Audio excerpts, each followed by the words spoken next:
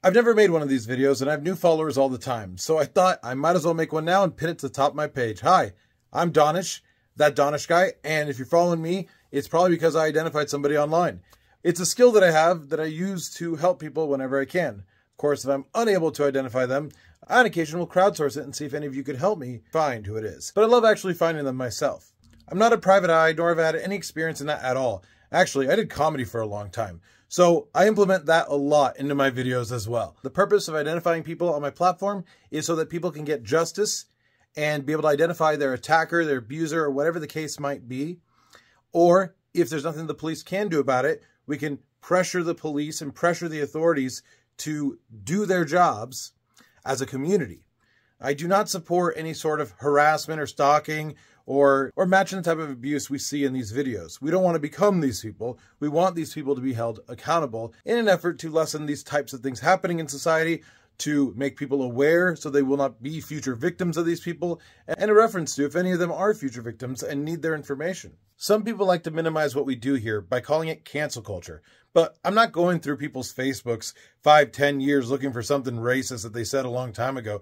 I'm looking for things that are currently happening right now and we're holding people accountable for doing those things. Hold them accountable legally. I have found that this is the best use of my platform. I've had stalkers, I've been swatted, I've been doxxed, I've had people slandering, defaming me online, accusing me of horrible, terrible things in an effort to deplatform me. But I never sink to the level that they go to because that is what they want. What we do is absolutely legal because there is no malice in wanting to help people who need help and have nowhere else to turn. But when people post your information along with a physical threat and the means to actually carry out that threat, that is doxing because it serves no legitimate purpose other than malicious intentions. We do not do that here, and I do not support anybody who does that. And while I keep my personal life private, there are many misleading reasons as to why I do what I do. So why don't you just hear it from me? I can do something to help people. After I did it the first time, I've had an inbox full ever since of people asking me to help them.